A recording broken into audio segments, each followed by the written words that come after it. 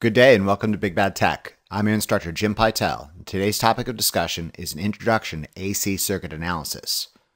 Our objective is to introduce simple AC sources and introductory AC circuit analysis techniques.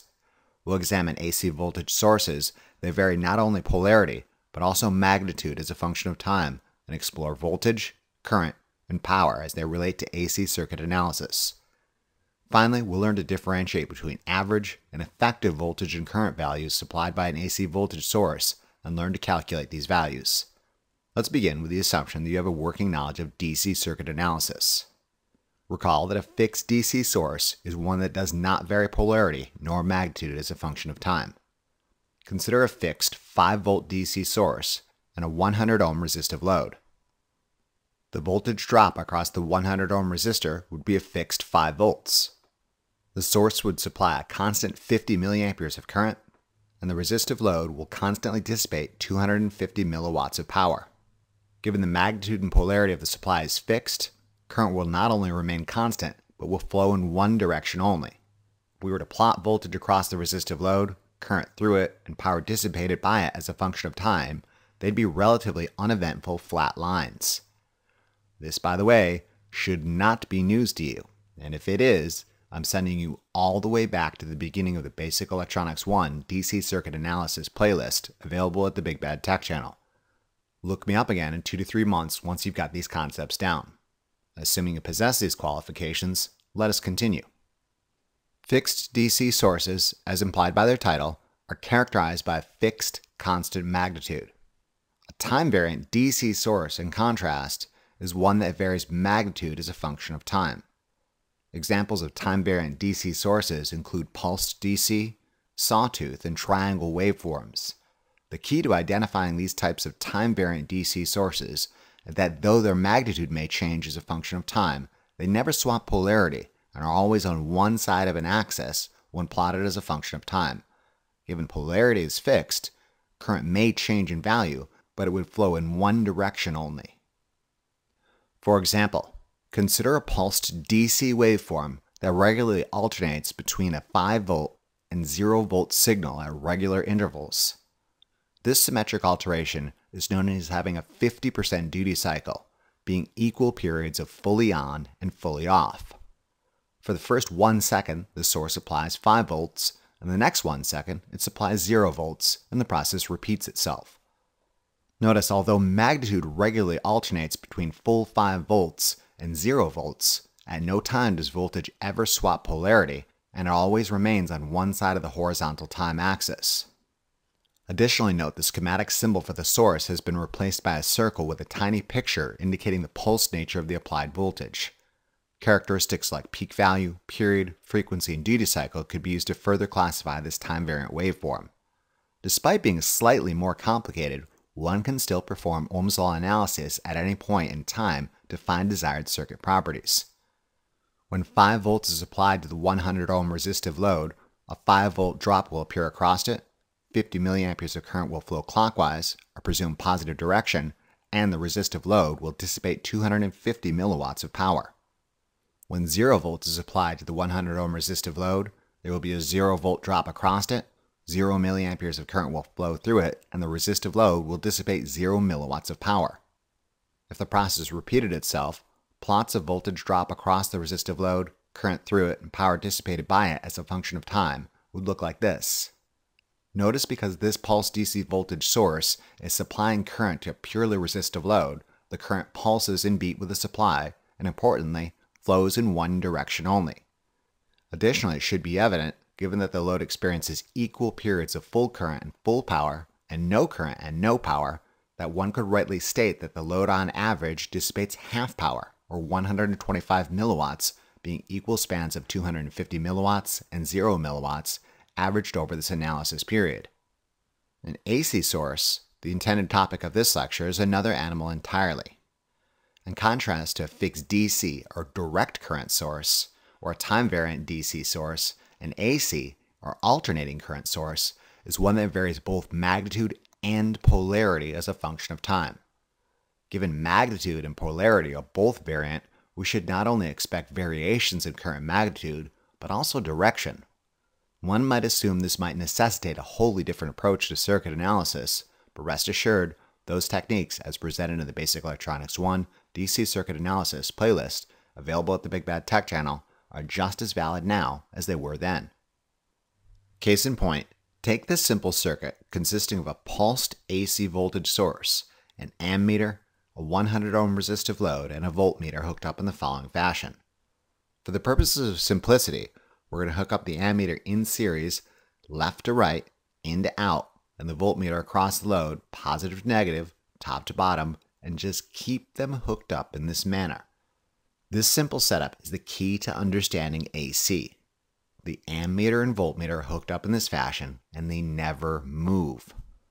The plot of applied voltage as a function of time for this pulsed AC source indicates something unique, namely the source cyclically alternates between positive 5 volts and negative 5 volts. If positive voltage is defined to be positive to negative, top to bottom, negative voltage is simply defined as positive to negative, bottom to top. In summary, positive half is 5 volts right side up. Negative half is 5 volts upside down. AC is not magic, it's not special, it's just that polarity cyclically alternates. Given polarity alternates and our ammeter and voltmeter remain fixed, one might expect periods of negative current and negative voltage drop. By the way, positive and negative polarity symbols on an AC source, since it cyclically alternates polarity, really don't mean anything over the long term. If you ever see positive and negative polarity symbols on an AC source, it just means that the source initiates operation with the given polarity. During the positive half of the cycle, as one would expect, the ammeter reads positive 50 milliamperes traveling through it into out, and the voltmeter would read a positive to negative voltage drop of 5 volts. The resistive load would be dissipating 250 milliwatts of power. During the negative half of the cycle, things change. Given the ammeter is still in series with our 100 ohm resistive load into out, left to right, and the voltmeter across the 100 ohm resistive load is still hooked positive to negative, top to bottom, the ammeter still reads 50 milliamperes traveling through it, only this time current is traveling out to in. There is still a 5 volt drop across the load, only this time the voltmeter experiences the drop negative to positive. Given the wonky arrangement of the ammeter and voltmeter, the values displayed are accompanied by a negative sign, indicating the 50 milliamperes of current is not traveling left to right as anticipated, but rather right to left. And the 5 volt drop is not top to bottom as we expected, but bottom to top. The ammeter is saying negative 50 milliamperes is traveling left to right, which we know means positive 50 milliamperes is traveling right to left. The voltmeter is saying a negative 5 volt drop is experienced top to bottom, which we again know means that there's a 5 volt drop bottom to top. Even accounting for these wonky sign changes results in positive power. Negative voltage times negative current results in positive dissipation of power. If the process repeated itself, Plots of voltage across the resistive load, current through it, and power dissipated as a function of time would look like this. Long story short, during both the positive and negative halves of the cycle, the 100 ohm resistive load experiences a 5 volt drop, 50 milliamperes of current, and dissipates positive 250 milliwatts of power. All the negative signs mean is that we're just too lazy to change the orientation of the ammeter and voltmeter. This is AC, or alternating current circuit analysis simply meaning that the direction of current changes. AC is not magic. It's not different. It's not special. It's just that you are too lazy to move your measuring equipment every time the voltage swaps polarity. From the perspective of the resistor, it makes no difference if current goes from top to bottom or bottom to top. At any point in time, one can apply Ohm's law on the power equations to determine the desired quantity. Before we continue, Check to see if you're tracking by solving for this example problem.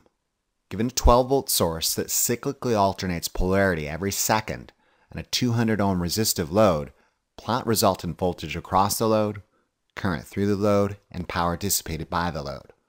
Note the ammeter and voltmeter connections never change position.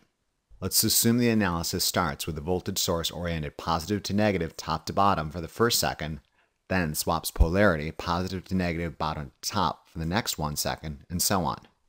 By all means, pause the lecture and get to work. Do not just sit there and wait for me to give you the answer. Get to work and plot the voltage across the resistive load, current through it, power dissipated by it, given the voltage source swaps polarity every second.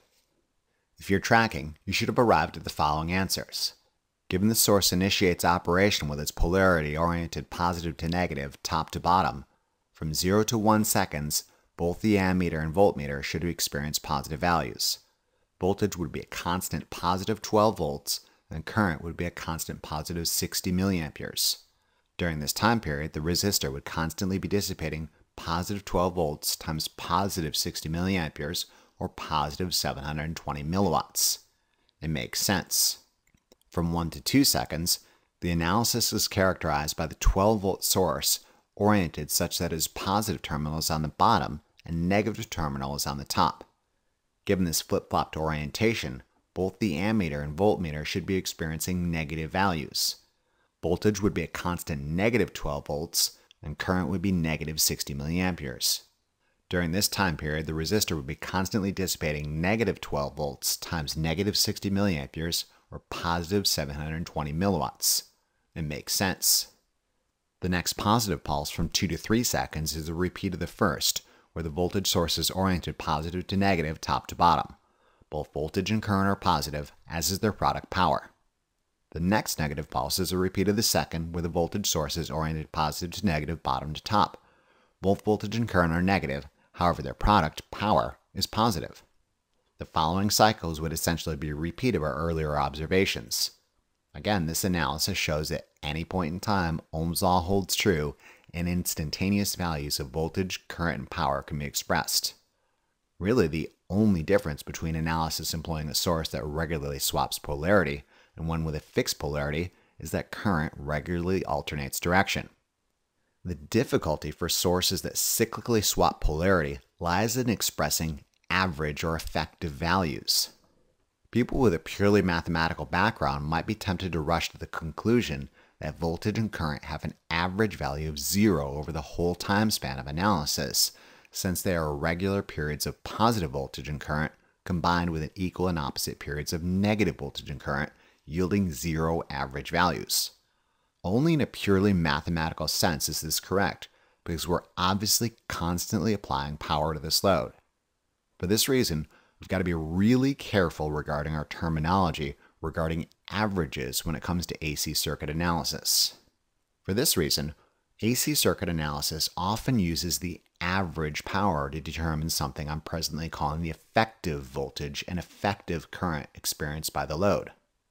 Recall that power can be calculated using one of three different formulas. Power equals voltage times current. Power also equals current squared times resistance, as well as power equals voltage squared divided by resistance. Rearranging the second and third equations, we find that current is equal to the square root of power divided by resistance, and voltage is equal to the square root of power times resistance. Given our power consumption is a constant 720 milliwatts for all occasions, we can calculate the effective voltage and effective current experienced by the load, as, big surprise, 60 milliamperes and 12 volts. Note there's no sign associated with effective voltage and current values, meaning that it is of little concern whether current goes left or right, or even alternates at all. These effective voltage and effective current figures also imply that a 12 volt DC source of fixed polarity, either upside down or right side up, would also be equally effective at delivering a constant 720 milliwatts of power to this resistive load. Think on this for a moment. A more complicated AC source can be conceptualized as a simpler DC equivalent that delivers the same amount of average power using effective values. More on this in a moment. Moving on. In addition to cyclically alternating polarity, AC sources can also vary magnitude as a function of time. Consider an AC source, ammeter, voltmeter, and resistive load hooked in the previous fashion. However, this time the AC source applies a time-variant waveform with the following characteristics. Let's say for one second it applies 0 volts. For the next 2 seconds it supplies positive 30 volts. For the next 2 seconds it increases magnitude to positive 60 volts. For the next 2 seconds it reduces voltage back to positive 30 volts then for the next one second, it supplies zero volts. The next half of the cycle is a repeat of the first, only polarity is reversed. For the next 1 second, it supplies 0 volts. For the next 2 seconds, it supplies negative 30 volts. Or if you want to think of it this way, positive 30 volts. Only the source is oriented positive to negative, bottom to top. The next 2 seconds, it supplies negative 60 volts. For the next 2 seconds, it supplies negative 30 volts. Then for the next 1 second, it supplies 0 volts. Then the cycle repeats itself. 0, positive 30, positive 60, positive 30, 0, negative 30, negative 60, negative 30, 0 volts. You get the picture. The analysis of this circuit using only a slightly more complicated source should be no more difficult than our previous analyses, given Ohm's law is to be held true at all times. We should be able to plot the resultant current and power over time. Let's assume our resistive load has a magnitude of 300 ohms. When the source is turned on for the first one second, it's characterized by an application of 0 volts. Current delivered to the load is 0 amps, and the power dissipated is 0 watts. The next two seconds is characterized by application of positive 30 volts. During this period, current delivered to the load is a constant positive 100 milliamperes, and power dissipated by it is a constant positive 3 watts. The next two seconds is characterized by application of positive 60 volts. During this period, current delivered to the load is a constant positive 200 milliamperes, and power dissipated is a constant positive 12 watts. Note by doubling voltage, current also doubles, and as a result, power, the product of voltage and current, is quadrupled. The next two seconds is characterized by application of positive 30 volts. As previously, during this period, current delivered to the load is a constant positive 100 milliamperes, and power dissipated is a constant positive 3 watts. The next two seconds is characterized by application of 0 volts. Current delivered to the load is 0 amps, and power dissipated by it is 0 watts. We're now entering the negative half of the cycle, which is really only a repeat of the positive half, with the exception that polarity is reversed. Current switches direction, however the load dissipates positive power, the product of negative voltage times negative current. The next two seconds is characterized by application of negative 30 volts. During this period, current delivered to the load is a constant negative 100 milliamperes, and power dissipated is a constant positive 3 watts. The next two seconds is characterized by an application of negative 60 volts. During this period, current delivered to the load is a constant negative 200 milliamperes, and power dissipated is a constant positive 12 watts. The next two seconds is characterized by an application of negative 30 volts. As previously, during this period, current delivered to the load is a constant negative 100 milliamperes, and power dissipated by it is a constant positive 3 watts.